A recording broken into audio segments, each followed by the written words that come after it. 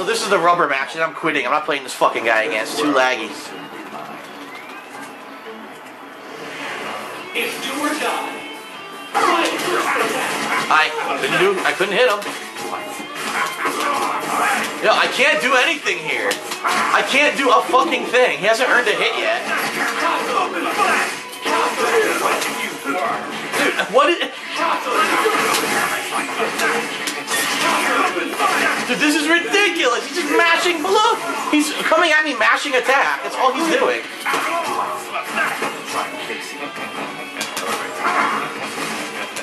I can't move. I was I was pressing buttons. I couldn't even do basic combo.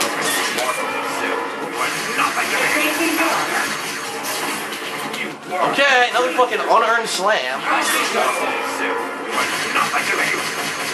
Fucking awful gameplay. What? I couldn't do anything again. Dude, I, this is ridiculous.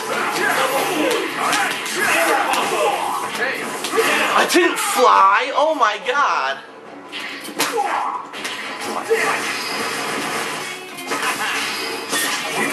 Block.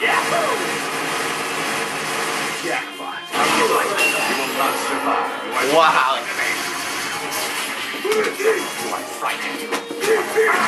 I can't. I can't move. I, dude, I didn't do a demon flip. Look, all this guy's doing is gun teleport, and I can't do anything about it because I can't control Akuma. I didn't do uppercut. Holy shit. Dude, I don't know what Akuma was doing. I went X Factor and tried to do a super, and he did a random move. I can't block. I can't block anything he's doing. All he did was gun teleport the whole fucking round, and I couldn't do a thing about it. So fucking laggy. Unreal. Gun teleport, gun teleport, gun teleport. Wow, I can't move. What a great game.